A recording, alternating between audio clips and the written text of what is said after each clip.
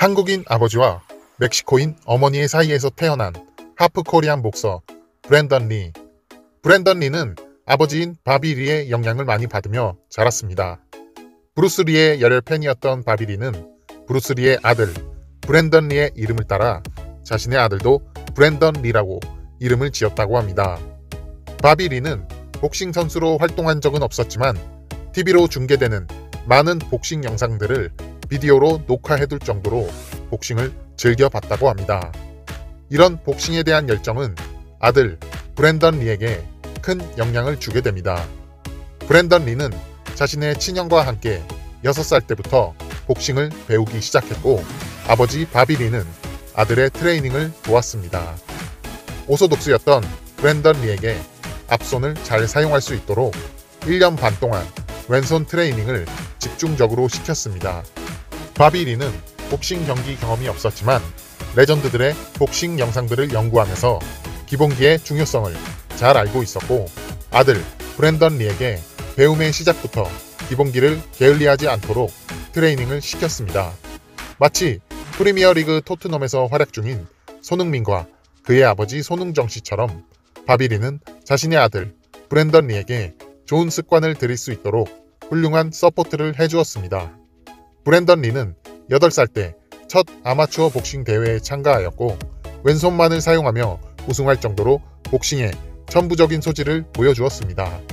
어린 시절부터 real 복서로서의 인생을 살아가기 시작했고 학교, 체육관, 학교, 체육관 그의 일과는 학업과 운동밖에 없었습니다.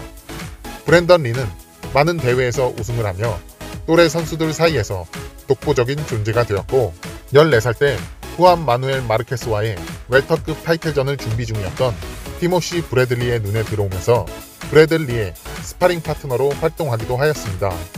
브랜던 리는 2020년 도쿄 올림픽 출전을 준비하고 있었지만 아마추어 복싱 경기에서도 선수들에게 헤드 기어를 씌우지 않겠다는 발표가 나오자 차라리 프로 커리어를 일찍 시작하는 게 좋을 것 같다고 하며 프로 무대로 전향을 계획합니다.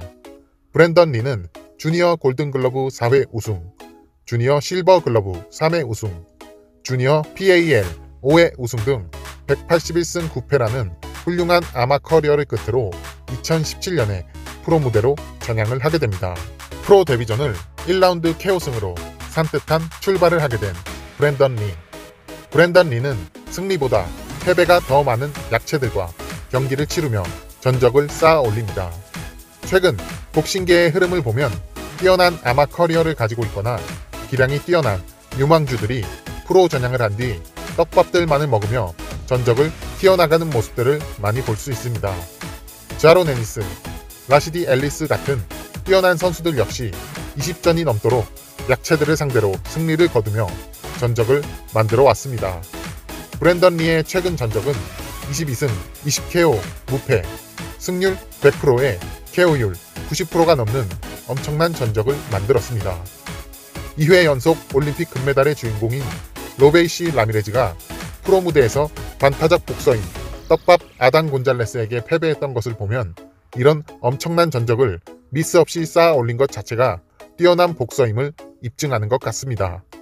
브랜던 리는 최근 치렀던 사무엘 T와의 경기에서 엄청난 파워 펀치를 보여주며 3라운드 KO승을 거두었고 턱이 돌아갈 정도로 큰 펀치를 허용하기도 했지만 꿈쩍도 하지 않는 단단한 턱을 검증하기도 했습니다.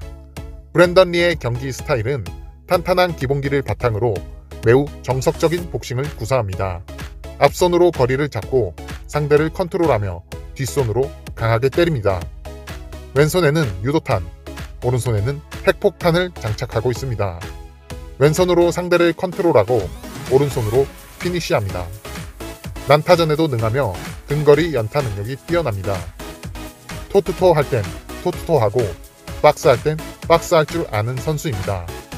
대부분의 공격이 머리 쪽으로 치중되어 있는 헤드헌터이고 body shot 비율이 적어 공격 옵션이 다양하지 못하다는 단점이 있습니다. 자론 에니스, 데빈 헤이니, 티모시 브래들리 등 많은 유명 선수들이 브랜던 리의 높은 링 IQ, 펀치 스피드, 펀치 파워, 타이밍 등을 높게 평가하고 있고 미래의 챔피언감으로 생각하고 있다고 밝혔습니다. 아직 검증의 무대 한 번 없이 떡밥 선수들만을 상대하고 있지만 포텐이 높은 선수임은 분명합니다. 브랜던 리는 2022년에는 슈퍼 라이트급에서 타이틀전을 치르고 싶어 합니다. 현재 슈퍼 라이트급 통합 챔피언인 조시 테일러와 호세 라미레즈를 겨냥하고 있습니다. 하프 코리안 브랜던 리가 세계 챔피언이 되고 롱런할 수 있기를 기원하며 영상 마치겠습니다.